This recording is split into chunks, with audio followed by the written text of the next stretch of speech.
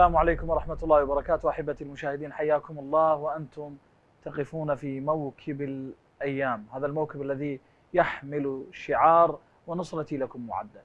الحسين صلوات الله وسلامه عليه أرسل رسولا قال عنه ثقتي وابن عمي.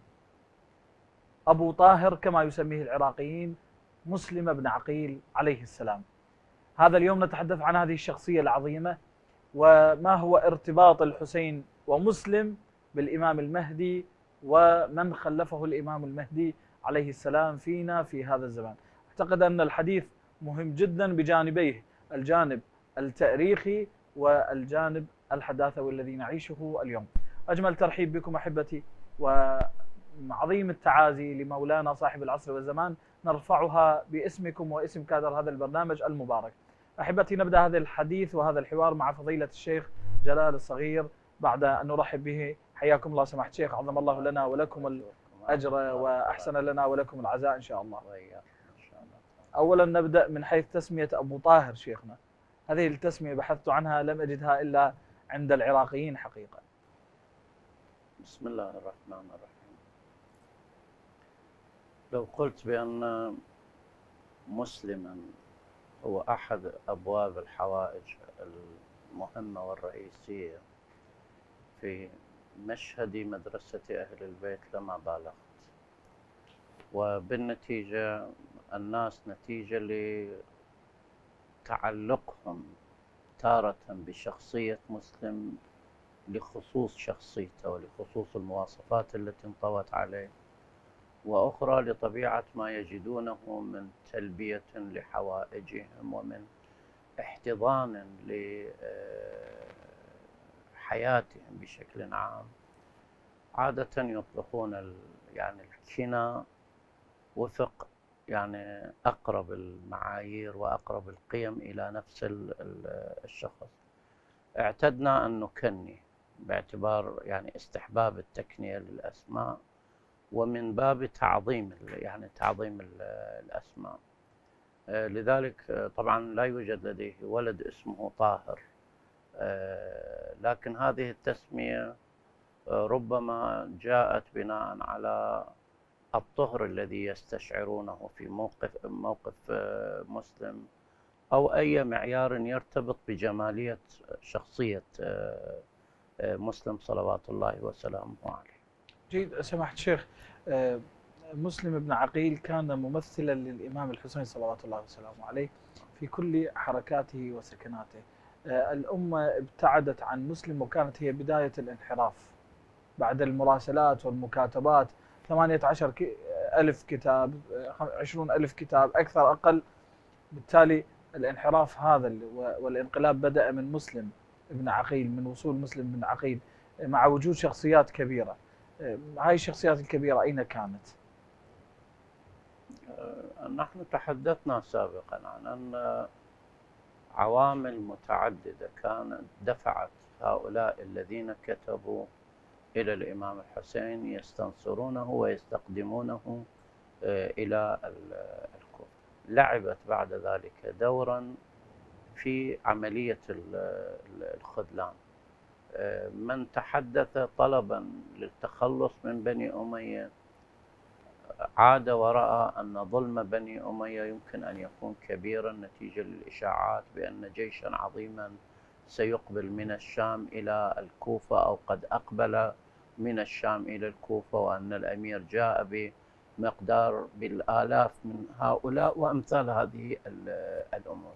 شيخ عفوا أنا لا أتحدث عن عن عن عامة الناس أتحدث عن القيادات أنا الشيعية. أنا أتحدث عن الكبار يعني أنا نعم. أتحدث عن الكبار. ربما في هذا المكان أو في غيره ذكرت أن شبثا وهو أحد الذين يعني كتبوا إلى الإمام الحسين وألحوا في أن يقبل عليه. حينما أرسل إليه عبيد الله بن زياد كان لا زال يريد أن لا يخذل فيما كتب أو لا يغدر فيما كتب. قال لمرساله بأني مريض قل له بأني مريض. لمجرد أن عبيد الله بن زياد رد عليه أمريض أم يتمارض؟ قل له مريض أم يتمارض. هذه الكلمة أدت بشبث ابن ربعي في أن يسارع إلى عبيد الله بن زياد ومسارعته كانت متناغمة مع سرعة خروجه براية لقتل الحسين عليه السلام. لذلك نفس العوامل هذه التي سابقا عملت باتجاه أن يكتبوا عادت وعملت بالاتجاه المعاكس باتجاه الغدر. شيخي يعني شدة التطرف أمير المؤمنين يقول ما رأيت جاهلا إلا مفرطا أو مفرطا شدة التطرف أنت تلح على الإمام الحسين. آه، يعني شبه يعني يلح على الإمام الحسين عليه السلام ومرارا وأقدم ابن رسول الله. فإذا أقبل الحسين نراه من أشد المنكلين والمعذبين للحسين ولعيال الحسين هسه هذه قضية التنكيل والشدة وما إلى ذلك لا شك هي مظهر من مظاهر أخذ الإثم بعزة. يعني حتى يبرر لنفسه وللآخرين أنه لم يخطئ وأنه لم يأثم. لذلك يتمادى وينحدر في مجال التنكيل بنفس المبدأ الذي هو تحدث عنه. قطعا كان النفاق أيضا هو أحد العوامل اللي أدت بهم ببعض الشخصيات إلى أن يكتب نتيجة للضغط الاجتماعي أو نتيجة من يعني طبيعة الاستشارات أو النصائح التي يتلقاها من الوسط الذي يعيشه. ولكنه في نفس الوقت كان يحابي وربما يراسل الطرف الآخر بطبيعة من كتب وما هي ال ال الأمور التي يعدها هذا أو يعد هذا وهذا الأمر يجب أن يلحظ من خلال حملة الاعتقالات المبكرة التي مارسها عبيد الله بن زياد بحق عدد من هؤلاء. لماذا لم تشمل الجميع؟ شملت فئة محددة هي رؤوس القوم وهي آه، قوة القوم الرئيسية. أن يتمكن سليمان بن صرد أن يجمع هذا العدد في ثورة التوابين آه، ما يشير إلى محوريته الاجتماعية تأثيره الكبير وأن يصل هؤلاء إلى قرار خوض العمل الثوري حتى وإن أدى إلى أن يموتوا عن بكرة أبيهم بحيث يروي الرواة بأنهم آه، ربطوا أقدامهم بأفخاذهم وهذا كان دليلا على أن الفارس حينما يفعل ذلك أنه مصمم على الموت لا يتراجع ولا يهرب ولا آه، وكلهم يعني آخر 600 مقاتل كلهم قتلوا بهذه الطريقة يعني تطوعوا باسم يا لثارات الحسين. هؤلاء أين كانوا قبل ذلك؟ قطعا قسم من هؤلاء كانوا في السجون وقسم من هؤلاء ربما أدركهم الندم ربما أدركتهم التوبة ربما أدركتهم الغصة عوامل متعددة. وهذه الصورة التي يقدمها لنا آه، عبد الله بن عفيف الأزدي. في طبيعة الموقف رجل أعمى كبير السن وحينما يجد عبيد الله بن زياد في شدة عنفوانه ويتصدى له وهو يقول له أنت الكذاب وأبوك الكذاب. هذا الأمر ليس من النمط السهل. كان هناك حراك حقيقي في داخل المجتمع لكن قمع بطرق متعددة وكان آه، مسلم ابن عقيل صلوات الله وسلامه آه، عليه. هو آه، ضحية لطبيعة الإجراءات التي اتخذت. فيها نفاق فيها مصالح فيها إغراء فيها تهويل فيها تخويف فيها تهديد فيها طرق متعددة استخدمت خلال هذه الفترة. وطبيعة السياسة حينما تملك القدرة وتملك القوة طبيعتها يمكن أن توزع الأساليب بهذا الاتجاه أو بذاك الاتجاه. لتحقيق الغرض جي. الذي يريده أهل السياسة. أه، سمحت شيخ أه، ما هي المؤهلات التي يمتلكها مسلم بن عقيل؟ بحيث الحسين عليه السلام يدز ممثل عنه ويدز لأعظم ملحمة سيشهدها التاريخ فيما بعد. المؤهلات الذاتية آه، سيرة حياة مسلم ما الذي أهله أن يكون ممثلا للحسين الذي هو ممثلا عن جده رسول الله الذي هو يمثل الوجود الإلهي في الأرض؟ يعني قبل هذا الكلام ربما نفهم هذا الأمر من خلال دور العقيليين في معركة كربلاء.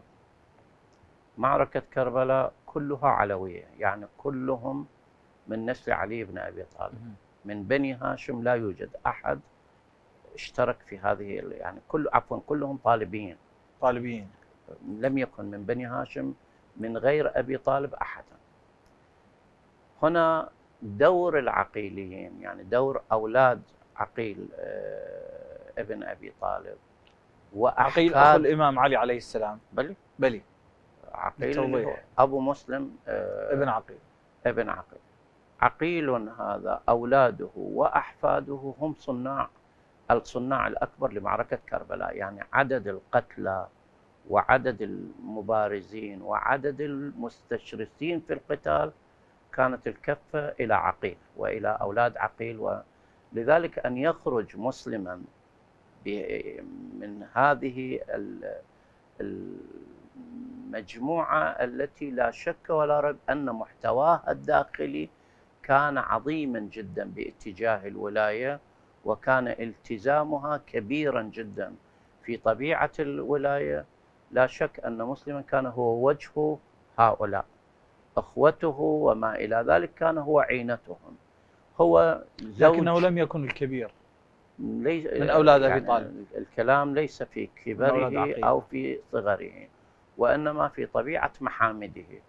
هو زوج بنت أمير المؤمنين صلوات الله وسلامه عليه وطبيعة التصاقه بالحسين عليه السلام كان التصاق لا أستطيع أن أقول التلميذ مع استاذه بل هو أكبر من من من هذا الأمر. باعتبار قسم من أولاد عقيل كانوا مع عقيل. يعني حينما ذهب إلى الشام واستقر في الشام وما إلى ذلك ذهبوا معه. أما مسلم نفسه آه، كان أكثر التصاقا ببيت الحسين عليه السلام وقد آه، تروي بعض الروايات أيضا مشاركة له بطريقة ما رغم أن عمره قد لا يسمح بتصور هذا الأمر ولكن له مشاركة في صفين. صفين. ومع أني أفترض أن عمره آنذاك ربما 12 سنة أو 13 سنة لكن على مثل آل أبي طالب لا يستغرب أن يكون صبيهم له هذا العنفوان وله هذا العدو يشهد شيخنا يقول كبيرهم لا يقاس وصغيرهم جمرة لا تداس. عموما هذا يعني هذا مسلم. لا شك أن الإمام صلوات الله وسلامه عليه أيضا انتخبه لطبيعة هذه المواصفات. لم ينتخبه عبثا لم ينتخبه لأنه زوج أخته أو ما إلى ذلك وإنما لطبيعة المواصفات التي تستدعي أن يتصف بها من يرسل إلى مجتمع مضطرب وإلى آه، ما إذا صح التعبير إلى الساتر الأمامي للمعركة. عبيد الله ابن زياد في الكوفة، جيشه في الكوفة والإمام الحسين أخبر من غيره بأن نفاقا يمكن أن يحصل. كيف لا؟ وقد رآهم في عهد ابيه كثير من هؤلاء الذين كتبوا آه، لم يكونوا مجهولين عند يعني عند الإمام الحسين عليه كان يعرفهم. مواقفهم من أخيه الإمام الحسن عليه السلام. من الذي خذل الإمام الحسن لولا أنهم هم هؤلاء؟ لماذا مر يعني قبل يعني بالقبول بكتب هؤلاء؟ هذا أمر آخر وأنا أعتقد أنه من جملة التخطيط الذي أراده أهل البيت لكي يوقعوا خصمهم في آه، مستنقع لن يستطيع أن يخرج منه ابدا وإن دفعوا ثمنا باهظا في هذه القضية. يمكن لنا أن نتصور كيف أن فاطمة الزهراء صلوات الله وسلامه عليها أرادت أن تسقط مؤامرة كبرى لقتل أمير المؤمنين. تصدت بنفسها هي حتى لا يقال بأن عليا قد خرج أمامنا وشتمنا أو علي وهو شجاع وما إلى ذلك ضرب هذا اعتدى على ذاك. وعند ذلك يأتيه سيف يقتله وتنتهي القصة. خرجت الصديقة وأنا مطمئن بأنها تعلم بما سيجري عليها بأبي وأمي. من أجل إسقاط العدو في فخ لم يكن يتصوره ومن أجل أن تسقط المؤامرة. في طبيعة الحسين عليه السلام لأن المؤامرة استفحلت ولأن الضلال آه، استتبت أعمدته إلى حد كبير جدا. كان يحتاج إلى عملية تضحية كبيرة جدا. لذلك من يرسله إلى الساتر الأمامي لن يرسل أحدا يمكن أن تلحظ عليه أي علامة استفهام. لو نظرنا إلى ما اتخذه مسلم ابن عقيل صلوات الله وسلامه عليه وإلى ما اتخذه قيس بن مسهر الصيداوي كيف أنهما كانا في الثبات وفي الصبر وفي إبلاغ رسالة الإمام الحسين كانوا متفانين رغم أن السيف على رقابهم نعم. هذا إشارة واضحة جدا أن الذي انتخبه الإمام الحسين يعرف تماما أنه سيؤدي الرسالة كما يريدها الإمام الحسين عليه السلام من دون أن يهتم بضريبة أداء آه هذه الرسالة. شيخ الحسين أرسل مسلم. سلام الله عليهما. آه مسلم آه، قتل. الحسين لم يرجع. آه، بالتالي ما الداعي من من إرسال مسلم؟ والحسين يعلم أن مسلم سوف يقتل. ويصل خبر مقتل مسلم للحسين عليه السلام ويبقى الحسين مستمر في الذهاب إلى كربلاء. خو أنت أتاني مسلم وآخذ نذهب بجمعنا. مسلم يكون مع الركب الحسيني ويدخل إلى إلى كربلاء. لعله أقوى. يعني يتقوى معسكر الحسين بوجود شخصية مثل مسلم عرفت بالشجاعة والتأثير في المجتمع لا سيما المجتمع الكوفي الذي عرف مسلم جيدا وخبير مسلم ولا سيما الثقل الكبير لمسلم في الكوفة. في كل معركة لابد من التضحيات والتضحية ليس بالضرورة أن تكون خسارة يعني أنا أعود وأقول بأن النظرة إلى الإمام الحسين عليه السلام أو إلى واقعة الطف بعنوانها مجرد معركة عسكرية نظرة خاطئة تماما. هي معركة سياسية بكل معنى الكلمة. وفي السياسة قد تكون خطوة التراجع محسوبة سلفا كما أن خطوة التقدم أيضا محسوبة سلفا. والأصل أن السياسي يريد أن يحقق أهدافه حتى ولو دفع أثمانا من أجل تحقيق هذه الأهداف. لإلقاء الحجة على هؤلاء لإسقاط ذرائعهم لكي لا يقال أن الإمام الحسين عليه السلام بعد أن استنصر لم ينصر وبعد أن قيل له تعال وتقدم إلى أخذ استحقاق الإمامة لم يتقدم بهذا الأمر. ومن أجل قضية أساسية هي أن لا يمر عنف آه، الأمويين آه، ويتسلط على كاهل الناس وعلى قلوبهم أكثر من من هذا الحد.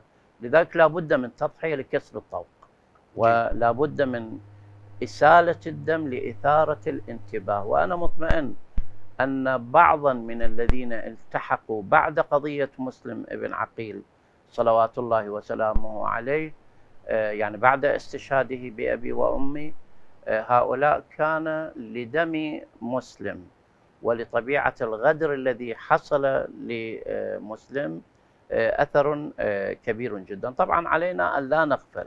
نصف دقيقة سمحت الشيخ أن المجتمع آنذاك كان يهيمن عليه خوف كبير والدليل واضح جدا في قضية هانئ بن عروة. هانئ بن عروة شيخ كندة يعني شيخ قبيلة كبيرة وهي تسيطر على الكوفة. كيف قتل أمام أعينهم ولم يأخذ بثأره ثائر ولم يخرج أحدا من هؤلاء لكي ينصر هانئا ويخلصه بطبيعة أساليب بسيطة من الخداع ومن الكذب اللي مارستها آه، السلطة. السلطة. استطاعوا أن يخدعوا عشيرة بكاملها ويحيدوها عن المعركة. سماحة الشيخ نبحث زاوية أخرى مهمة جدا وهناك تساؤل مهم جدا نطرحه إن شاء الله في آه، هذه الحلقة بعد فاصل قصير. إذن لي أذهب آه، إلى فاصل أحبتي وأعود لمواصلة الحلقة معكم. ابقوا معنا.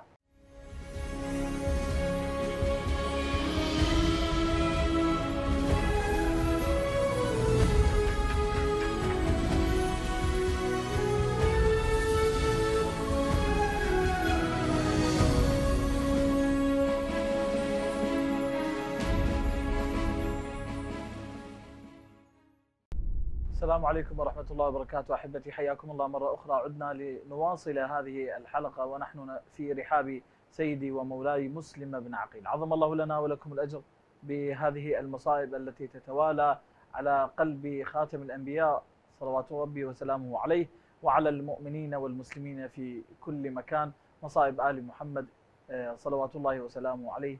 تلك المصائب التي لا تطيقها الجبال. كنا ولا زلنا نتحدث عن مصيبة مسلم بن عقيل عليه السلام. آه، نواصل الحديث عنها بإيقاعاتها الحاضرة. حياكم الله وأهلا وسهلا ومرحبا بكم. وحياكم الله فضيلة الشيخ أهلا ومرحبا بكم مرة أخرى. آه، شيخي قبل آه، أن نبدأ هذه الحلقة هناك سؤال ملح جدا. مسلم بن عقيل قتلته السلطة الحاكمة آنذاك. وألقي لكونه معارضة. ألقي من على قصر الإمارة.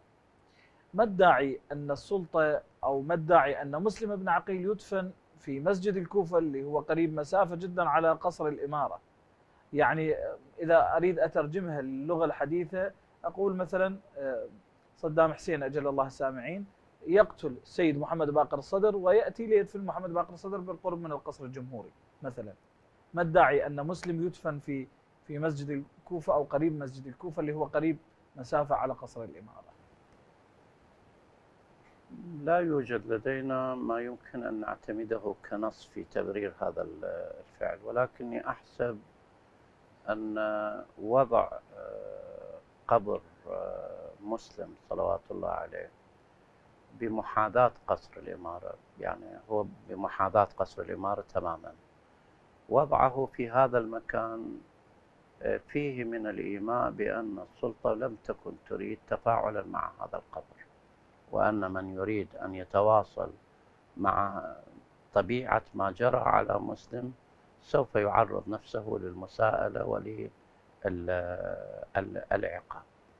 آه، باعتبار أن الناس آنذاك من لديه عاطفة تجاه مسلم سوف يحاول بطريقة أو بأخرى للتواصل آه، مع هذا هذا المشهد. على أنه ربما في تلك يعني الفترات آه، طريقة الدفن أو طريقة التعامل مع قتلاهم في أن لا ينقلونهم بعيدا عن المكان. هو آه، يعني حينما أقول بمحاذاة ربما القبر الذي دفن به بأبي وأمي آه، هو نفس المكان الذي سقط فيه أو أسقط من يعني من قصر الإمارة أو من أعلى قصر الإمارة. على أي حال لا يوجد لدينا آه، دليل روائي ليفسر هذا الفعل ولكن فهمنا إلى طبيعة أعمال الطغاة وإلى طبيعة ردة فعل الجماهير ربما يتفق مع آه، بطريقة أو بأخرى ما أشرت إليه. آه، يعني هل فيه إيحاء أنه من سيسير على نهج مسلم سوف يقتل من الواضح جدا. يعني هو حينما هكذا. حينما يقتل صبرا ثم يلقى بجثته إلى ال... هي واضحة طريقة ال... يعني أن يقتل أمام الناس على علو بحيث من يريد أن يراقب المشهد يستطيع أن يرى أن مسلما قد قتل. وبالنتيجة قد تكون هناك إشاعة بأن مسلما لم يقتل وأن الأمور جارية في ترتيباتها هنا يقطعون الشك باليقين. رميه بهذه الطريقة وحالة التمثيل بجثته بهذه الشاكلة آه، هي واضحة آه، في دلالتها إلى أن السلطة يمكن لها أن تذهب إلى كل بعيد من أجل أن تقمع آه، مثل هذا الحراك. نفس التصرف الذي حصل مع هانئ بن عروة هو نفسه يشير أيضا إلى نفس هذا المبدأ. تمام. سماحة الشيخ مسلم كان يمثل الامتداد الطبيعي للحسين عليه السلام وكان يمثل الحسين بوجوده آه، الشرعي الفقهي العقائدي السياسي الجهادي. مسلم كان الحسين. هل هذا دليل على أن نائب الإمام أو من نصبه الإمام آه، بالنيابة الخاصة أو العامة له صلاحيات كصلاحيات الإمام أكو جانبين في هذه القضية، أكو مره الجانب الفقهي وهذا بحث متشابك. يعني في شأن صلاحيات الفقيه من بعد بالضبط أنا أشير إلى هذا الموضوع الإمام يعني صلوات حقيقة. الله وسلامه عليه. وأكو مرة في تفاعل الأمة مع نائب الإمام. يعني لا شك ولا ريب أن الفقهاء يتفقون على أن الإمام صلوات الله وسلامه عليه حينما غاب لم يترك الأمة املا ولم يدعها لتسير كيفما اتفق أو أنه ترك أمورهم لشانهم فأما في الحوادث الواقعة فارجعوا فيها إلى رواة حديثنا. كلمة ارجعوا هي ال- التي انتزع منها لفظ المرجع. لفظ المرجعية. الرجوع إلى رواة الحديث رجوع إلى ماذا؟ إلى علمهم إلى أشخاصهم أم إلى أنهم يمثلون شرعية محددة سلفا من قبل ولي الأمر صلوات الله وسلامه عليه؟ قد يكون قد يتصور المتصور بأنه رجوع إلى علمهم ولكن هل كل علم يهيئ الإنسان إلى أن يكون نائبا عن الإمام. ماذا بشأن التقوى؟ ماذا بشأن ال- سلامة هذا العلم وطبيعه أصالته في اتباع فقه أهل البيت وما إلى ذلك؟ لذلك جاءت التحديدات من كان صائنا لدينه آه، مخالفا لهواه، مخالفا لهواه. متبعا لمولاه. هذه التوصيفات هي تحديدات لطبيعة قيادة تركت في الأمة وقيل للأمة عليكم أن تتبعوا آه، هؤلاء تحديدا. يعني نحن كشيعة لا يعبر عنا بأننا شيعة بناء على هوية أحوالنا الشخصية بأني أنتسب إلى أب شيعي وأم شيعية اذا أصبحت شيعيا.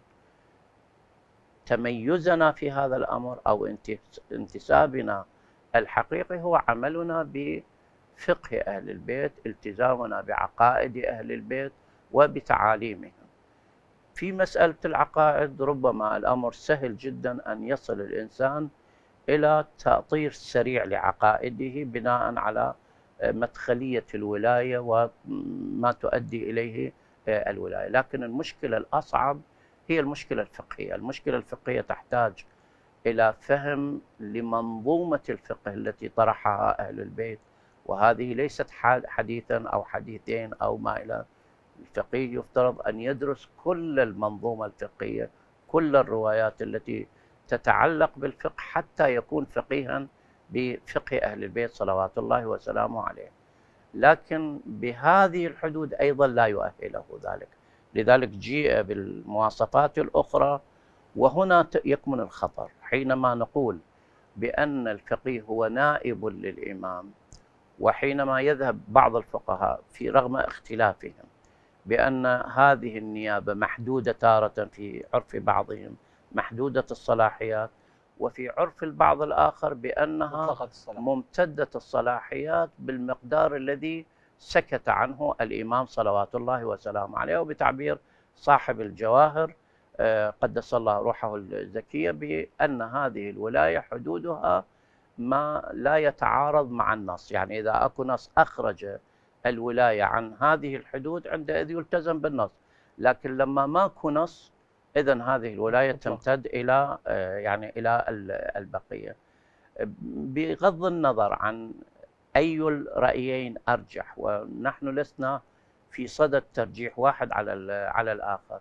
لكن القدر المتيقن أن كل الفقهاء يتفقون أن الحاكم الشرعي الجامع للشرائط هو نائب للإمام صلوات الله وسلامه عليه بأي نحو من الأنحاء يفسر سواء كان بالنيابة المحدودة الخاصة أو بالنيابة العامة كما يراها من يرى آه، ولاية الفقيه المطلقة. الحديث عن ولاية الفقيه حديث متفق عليه عند الفقهاء جميعا. يعني أجمع فقهاء الطائفة لا شك ولا. على أن للفقيه ولاية. لا يوجد فقيه لا يؤمن بأن الإمام ترك مقدارا من الولاية إلى الفقيه الذي ولكن الاختلاف في سعة هذه الولاية. أحسنت.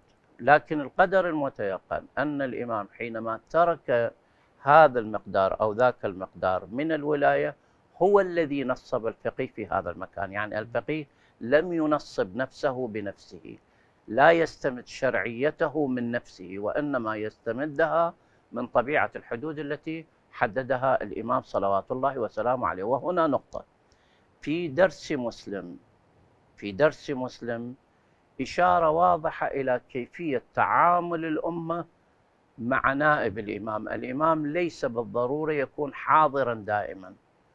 وأن يرسل الإمام الحسين وهو الإمام المعصوم نائبا عنه سفيرا عنه إنما يرسل من يصدر قرار الحسين إلى هذه الأمة. لذلك تعامل الأمة مع مسلم هو عين تعامل الأمة مع الحسين صلوات الله وسلامه عليه. فلو أنها خذلت مسلما خذلت إنما خذلت الحسين عليه السلام. ولا يوجد مجال للتفكيك ما بين الاثنين. يعني أنا أقول بأني أتبع الإمام المنتظر صلوات الله وسلامه عليه ولكن لا أتبع أي مرجع من المراجع ولا أضلل عملي بشرعية آه، من مستلة من قول الإمام ارجعوا إلى رواة حديثنا. لا معنى لهذا الحديث. أنت تخالف الإمام المنتظر في قضية أساسية ثم تقول بأني أعمل برأي الإمام المنتظر صلوات الله هنا هنا سؤال شيخي هنا سؤال. آه، هناك جماعات قلت أو كثرت آه، يعني لا تحظى بغطاء مرجعي. ما هو حكم كل جماعة تعمل بدون غطاء مرجعي؟ لا ترجع إلى مجتهدا. إلى مجتهد عفوا. آه، أولا نحن علينا أن نقول آه، ما هي حدود عمل أي مجموعة من المجامع؟ إذا كانت تتداخل مع المصالح العامة أو إذا كانت تتداخل مع الحدود الشرعية لأي موضوع كان خاص فردي ذاتي أو جماعي عندئذ لا تمتلك أي شرعية من دون أن توجد لنفسها غطاء من الإمام المعصوم. وهذا الغطاء حينما حدد بالمرجعية أو برواة الحديث إذا لا توجد شرعية. يعني لأي عمل يتداخل مع المصالح العامة. من الذي أعطاك الحق في أن تتفاعل مع المصالح العامة وتتصرف في المصالح العامة إن كانت مالا بدون أن تخضع لمشتري. أو إن كانت جهدا أو إن كانت آه، سلوكا أو ما إلى من أين من الذي أعطاك هذا الأمر؟ زعامة وجاهة أو ما, لها قيمة؟ يعني في عرف أهل البيت بل كيف تماسك المذهب كل هذه الفترة رغم شدة العنت الذي تعرض له مذهب أهل البيت؟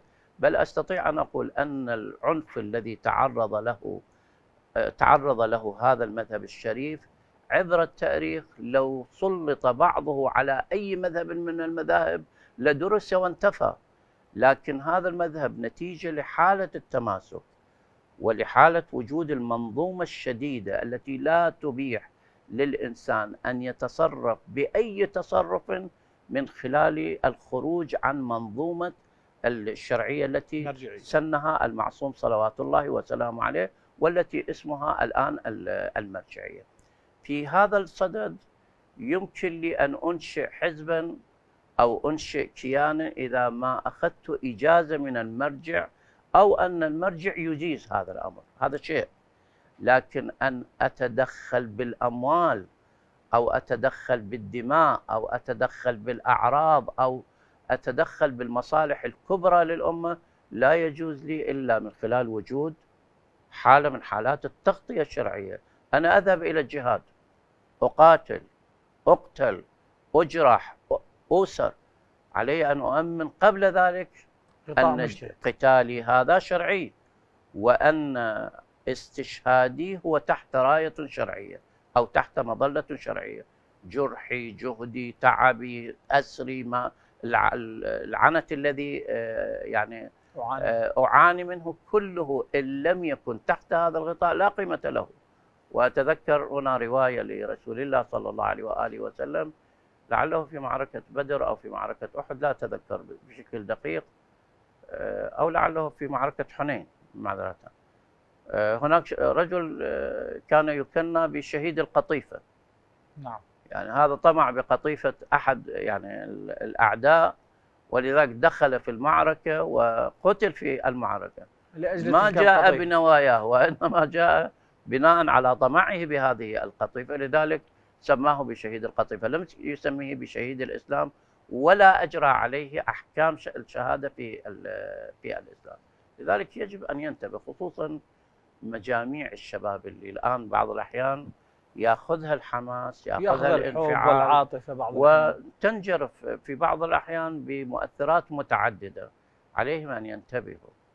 أصل قيمة الأعمال هي في غطائها الشرعي. مهما كانت نبيلة هذه الأعمال مهما كانت خيرة ما راح ينظر لها الإمام صلوات الله وسلامه عليه عليه. وهنا أذكر رواية لإبليس عليه لعائن الله.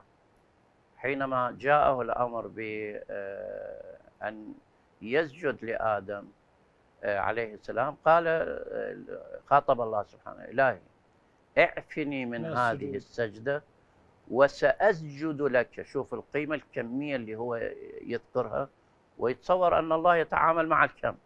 وسأسجد لك سجدة. لم يسجدها لك أحد من قبل ولن يسجدها لك أحد من بعد. لكن القيمة المعنوية في في تعريف الله إني أعبد من حيث ما أنا أريد. لا من حيث ما تشاء. لا لا من حيث ما أنت تريد. إحنا نقول صراط مستقيم صراط مستقيم. من الذي يحدده؟ الله. أنا الذي أحدده أم المنظومة الإلهية هي التي تحدد هذا الصراط المستقيم؟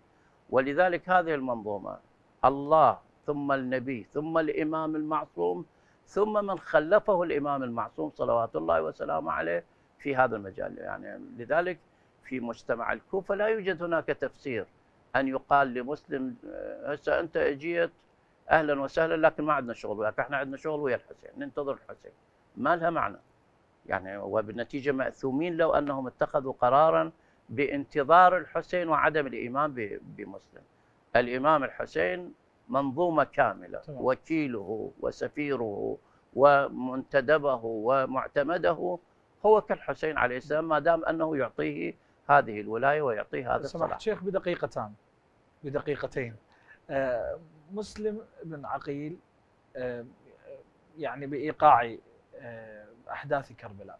هناك من يقول أنه لا يوجد دليل على رجوع العامة إلى المجتهد في زمان الغيبة الكبرى، لا يوجد نص من معصوم أو لا يوجد إقرار من معصوم أو لا يوجد فعل لمعصوم أنه يرجع العامة إلى وكيل عنه.